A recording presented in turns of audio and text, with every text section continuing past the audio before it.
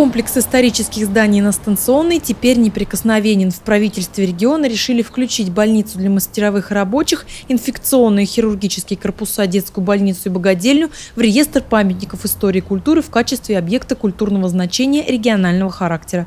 Это значит, что здания должны быть сохранены в истории, облик их должен поддерживаться в надлежащем состоянии. До выхода распоряжения правительства Ивановской области Объект э, имел э, статус выявленного объекта культурного наследия.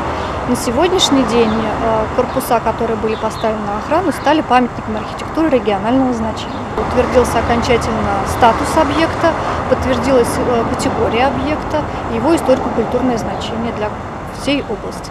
Комплекс зданий, три расположены на Ленина 112 под разными литерами, еще два на Ермака, первое медицинское учреждение в Иваново-Вознесенске, открыто в 1861 году. Это была очень современная больница, там была бактериологическая а, лаборатория, там был рентгеновский кабинет, там были врачи, штат, в общем-то, медсестер. То есть вот такая вот достаточно интересная и начинка в этого здания. Ну и само оно в архитектурном плане, конечно, вот я уже сказал, имеет большую ценность. Инфекционный корпус построен архитектором Напалковым. Выполнено сооружение в стиле модерн с элементами английской готики.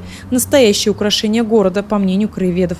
До 90-х годов рядом с инфекционным и хирургическими корпусами располагался главный корпус с церковью. Здание было решено снести. Было дано специальное разрешение с тем, что здание будет воссоздано по старым по обмерам. Обмеры были выполнены тогда, но ничего так и не сделали, естественно, потому что начались перестроечные процессы.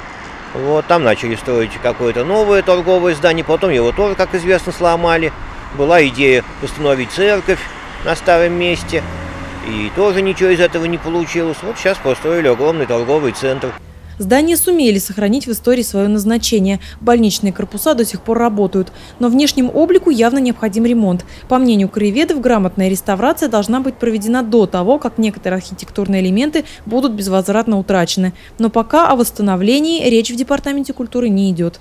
Мария Смирнова, Денис Денисов, РТВ Иванова.